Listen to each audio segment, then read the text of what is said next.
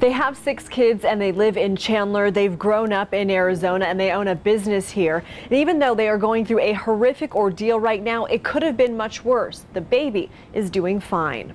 We watched his wife's initial appearance at the 4th Avenue jail where she spent the night. He says he was working from home at the time. She had debated taking their baby to pick up three of their kids from school. She ended up taking him and ran into Target after the pickups, but left the baby in the car. Her husband believes it was an accident. Around 4:30 when it was about 112 degrees out, a woman saw the infant crying and sweating and called 911.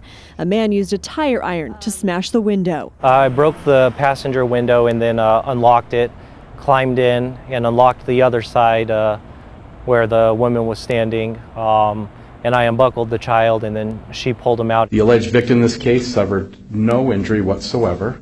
There was no raised uh, temperature. There was no harm, no side effects. Platt's attorney told a judge she has dedicated her life to her kids. She obsesses over their safety, their cleanliness, they're well maintained. She's just a wonderful, loving mother to all of her children. Platt's husband tells me he spoke to the man with the tire iron on the phone to thank him. Meanwhile, his wife will get to go home today, but she is facing a class 5 felony. So that means if convicted, she could face anywhere from six months to two and a half years in prison.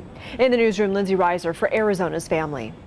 Lindsey, thank you. And today we're also hearing from the woman who found that baby in the hot car and called for help. As Ryan Sims found, she has a message of compassion for the baby's mother. If that were my child in the car and for whatever reason the same thing happened, I would want someone to bust every single window in my car to get my baby out. This woman insists she was in the right place at the right time. We just knew we had to get that baby out of there. She says she arrived here at Target with her two kids in the middle of the afternoon heat. As soon as she got out of the car, she tells us she noticed the one next to her and the baby that was still inside. Should I run into Target and tell an employee or should I just call 911? Precious seconds ticked by and the mom never showed. And then came a terrifying sign. That sweet little baby, he stopped crying.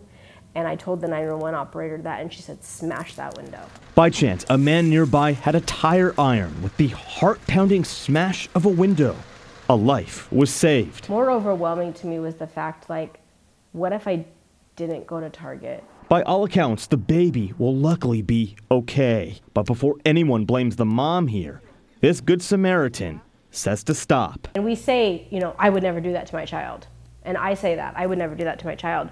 But you have no idea, you know, what can happen in a day. And we have no idea what was what happened to her that yesterday. In Gilbert tonight, Ryan Sims, Arizona's family.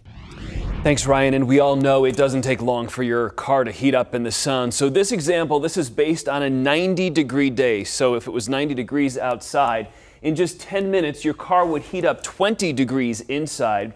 In 20 minutes, your car would heat up 30 degrees. On a 90 degree day, leaving your car outside for half an hour, it would go up 35 degrees. And if your car is sitting outside for about an hour, again on a 90 degree day, much hotter this week, on a 90 degree day, it would go up almost 45 degrees in one hour to about 135 degrees inside.